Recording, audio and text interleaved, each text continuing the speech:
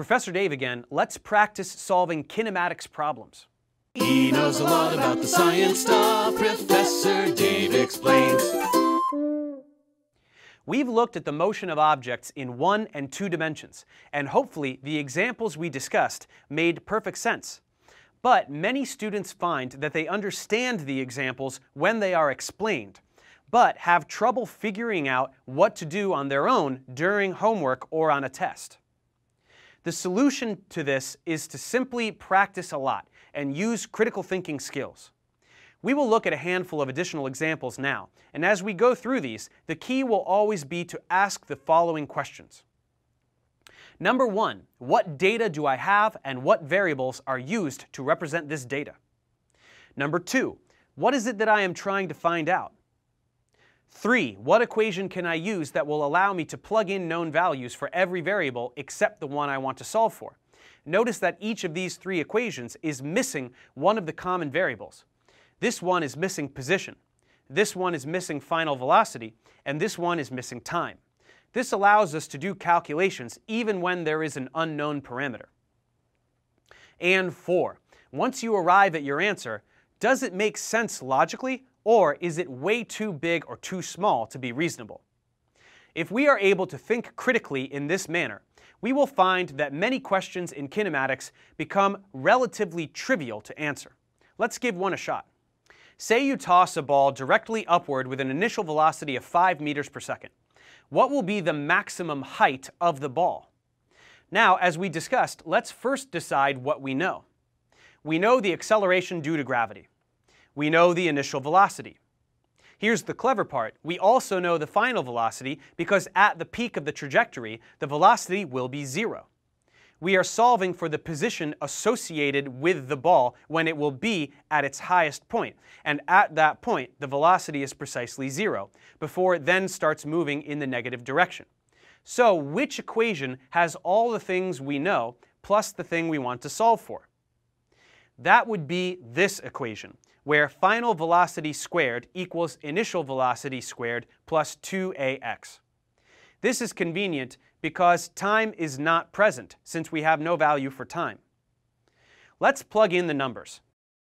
Solve for x, and we should get about 1.28 meters as the maximum height of the ball with respect to the point of release. If we wanted to know its height above the ground, we would just add whatever distance there was between the point of release and the ground. Now let's say we want to know its hang time, or how long it is in the air from the moment you throw it to the moment you catch it at the same point of release. To do this, we can use the following equation and solve for the time elapsed to reach the maximum height, and then simply double it, as falling will take exactly the same amount of time as ascending. We can use this equation because we know both the initial and final velocities and the acceleration. Plugging in those values and solving for t gives us 0.51 seconds. That's how long it takes to reach the maximum height. Simply double that and we get 1.02 seconds as the total hang time. Let's try one more. Say a helicopter is delivering a care package to a remote location.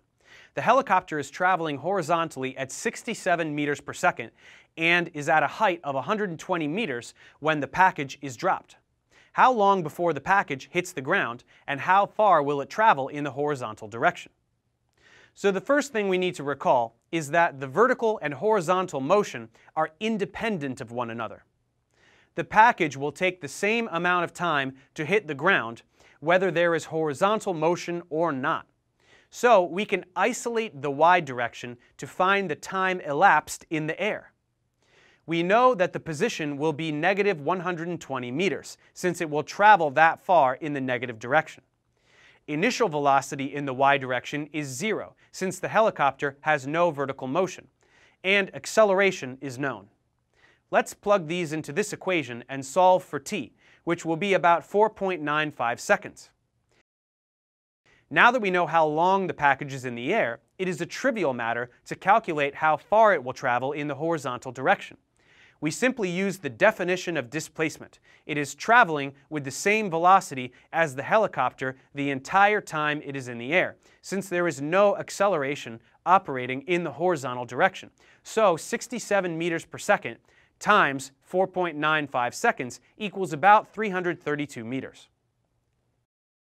So remember that when solving problems of this nature, always ask yourself what information you have. Also remember that sometimes you may have information that is not explicitly listed in the question.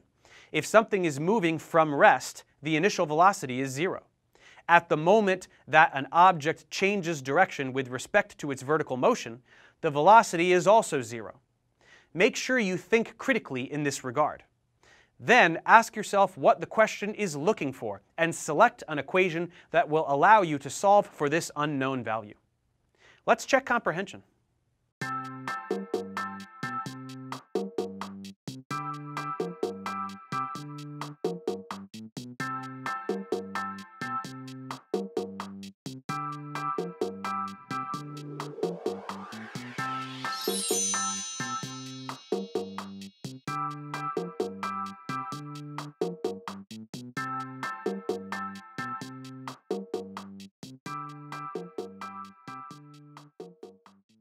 Thanks for watching, guys. Subscribe to my channel for more tutorials. Support me on Patreon so I can keep making content. And as always, feel free to email me, ProfessorDaveExplains at gmail.com.